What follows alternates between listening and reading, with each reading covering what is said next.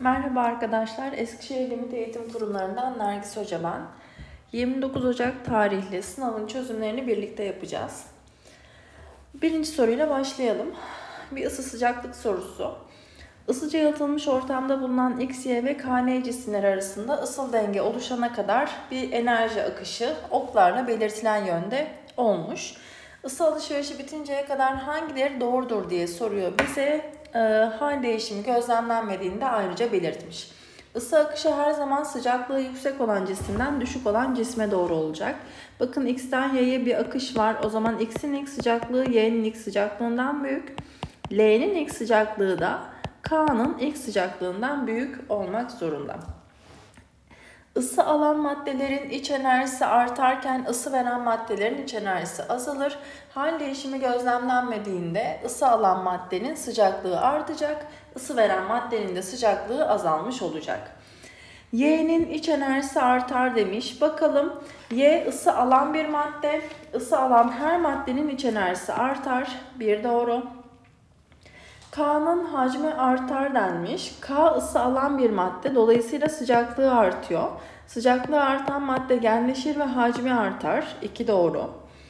X'in ısısı azalır demiş. X ısı veren bir madde fakat X'in azalan şey ısısı değil iç enerjisidir. Burada e, bir maddenin ısısı diye bir kavram olmadığını unutmayalım. Maddenin sıcaklığı ya da iç enerjisi olur. Isı veriyor evet ama azalan şey iç enerjisidir. Burası doğru değil. L'nin sıcaklığı azalır.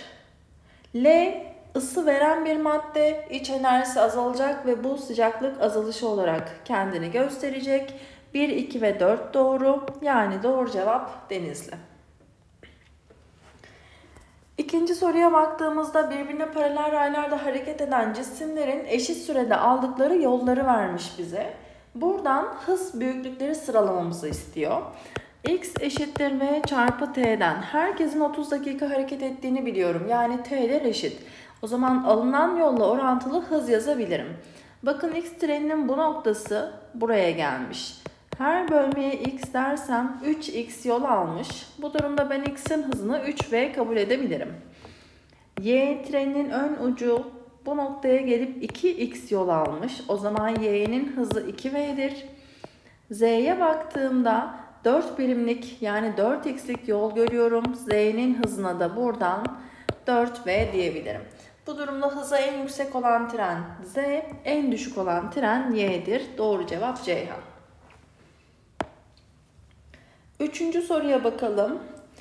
Bize nükleer santrallerde elektrik enerjisinin üretim aşamaları verilmiş. Bu aşamalarda gerçekleşen olaylarda fiziğin alt dallarından hangisi yoktur diye soruyor. Fisyon tepkimeleri çekirdek tepkimeleridir. Yani nükleer fizikle ilgilidir. Suyun buharlaşmasından bahsediyor. Termodinamik.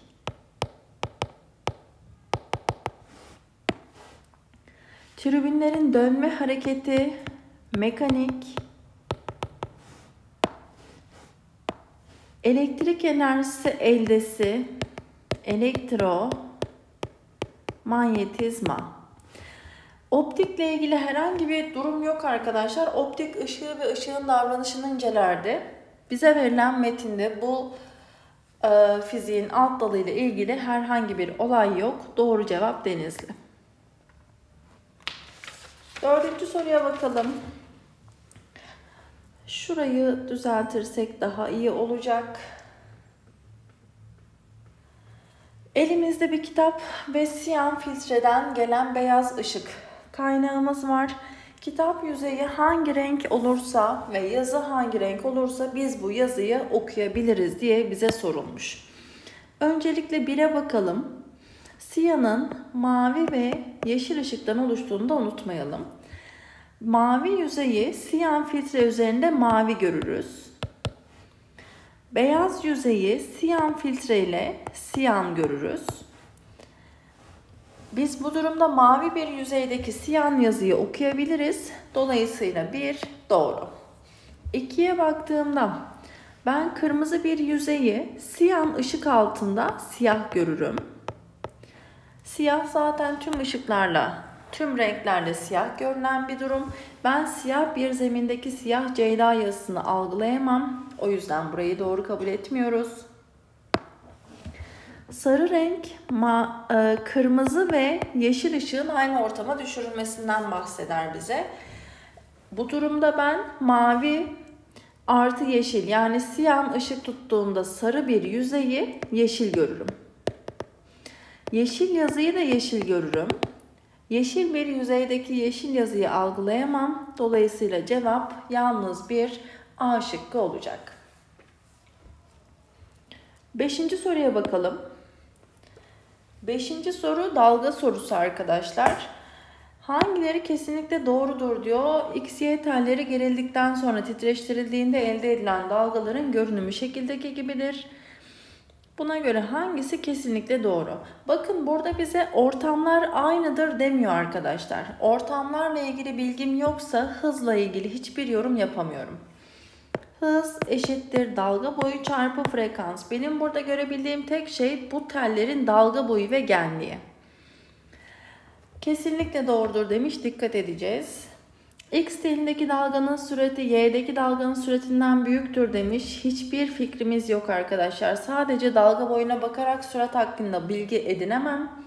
Bilmiyoruz. Yani kesinlikle diye de gelmiş. Bir yanlış. İkiye bakalım. X'deki dalgaların titreşim frekansı Y'deki dalgaların titreşim frekansından büyüktür demiş. Kaynakla ilgili bilgim yok. Bu şekle bakarak sadece dalga boyu ve genlik hakkında yorum yapabilirim. Bakın şurası X'in dalga boyunun yarısıdır. Burası Y'nin dalga boyu. Ben buradan sadece dalga boyu görebiliyorum. Bir de şuradaki genlikleri görebiliyorum. Bakın. Onun dışında hiçbir konuda yorum yapamam. Burayı da almadık. Dalgaların genlikleri eşittir demiş. 2 birim 2 birim her ikisinde genliği eşittir. Yalnız 3 cevap Ceyhan. Altıncı soruya bakalım. Yarıçapları R2, R3, R olan iletken KLM kürelerinin yükleri arasındaki ilişki bize verilmiş. Bu üç küre aynı anda birbirine dokundurulup yük akışı bittiğinde son yüklerle ilgili hangileri doğrudur? Biz şunu biliyoruz arkadaşlar. Yük akışı kürelerin yük potansiyelleri eşitlenene kadar devam eder. Dolayısıyla her küre yarı çapıyla aynı oranda ne kazanacak? Yük kazanacak. Dokunma ile elektriklenmede son durumda toplam yük paylaşıldığı için bütün kürelerin yük işareti aynı olmak zorunda. Yani R yarıçaplı K küresinin yükünü Q kabul edersem L küresinin yarıçapı 2R 2Q olmak zorunda. Son yükten bahsediyorum. M'nin yarıçapı 3R ise burası 3Q olmak zorunda. Yani burası K'nın son yükü, L'nin son yükü ve M'nin son yükü. O zaman hangileri doğru olur demiş. Bakalım. L'nin son yükü K'nın son yükünden büyüktür. L'nin son yükü K'nın son yükünden büyüktür. Çünkü yarıçapı daha büyük L'nin. Bir doğru. M'nin yükü K'dan daha büyüktür. Evet M'nin yarıçapı K'dan daha büyük. Son yükü de M'nin daha büyük olacak. İki de doğru. 3'e baktığımda bakın M ve L'nin yük işaretlerinin zıt olduğundan bahsediyor. Dokunma ile elektriklenmede tüm cisimlerin son yüklerinin işareti aynı olmak zorunda. 3 yanlıştır. Buradan cevap B şıkkı olarak gelecek. Son sorumuz. İçerisinde su ve bölmelerinde hava bulunan şekildeki bileşik kap dengededir. Açık hava basıncının P0 olduğu ortamda kaptaki KLM noktalarında oluşan toplam basınçlarla ilgili hangileri yanlıştır diye soruyor. Şimdi burada K ve L'nin basınçlarına baktığımda K ve L aynı hizada noktalar ama biz bunların basınçlarını eşit alamayız. Çünkü aynı hizadaki iki noktanın basıncını eşit alabilmem için onların altındaki sıvıların aynı sıvı olması gerekiyor. Yani buradaki X ve Y noktalarının basınçlarını eşitleyebilirim. Şuraya da H diyelim. Hatta H1 diyelim. Bakın X noktasının basıncı H1 yüksekliğinde sıvının basıncı artı üzerindeki havanın basıncı. Ama baktığımda Y noktasının basıncı zaten K'ya eşit. Bu da sadece orada bulunan havanın basıncı. E bu durumda benim K ve L'nin basınçlarını eşit almam mümkün değil arkadaşlar. Ee, diğer şıklara bakmamız gerekirse bakın şurada ben M ve L'nin basınçlarını eşitleyebiliyorum. Çünkü altındaki sıvılar aynı. Şuraya H2 dersem bakın M'nin basıncı L'ye eşittir dedim. M'de kimlerin basıncı var? Açık hava basıncıyla H2 yüksekliğinde sıvının basıncı L'nin basıncına eşitmiş. E o zaman baktığımda L'nin basıncı kesinlikle açık hava basıncından daha büyüktür. Buraya geldiğimizde de K'nın basıncının daha büyük olduğunu görmüştük L'den. K'nın basıncı da L'den daha büyük olmalı. Bu durumda benim basınç sıralamam zaten çok net arkadaşlar. Bunun aksi olan bir tane şık var. O da C şıkkı. Çözümlerimiz bu kadar. Sınavlarınızda başarılar, bol şans diliyorum. Hoşçakalın arkadaşlar.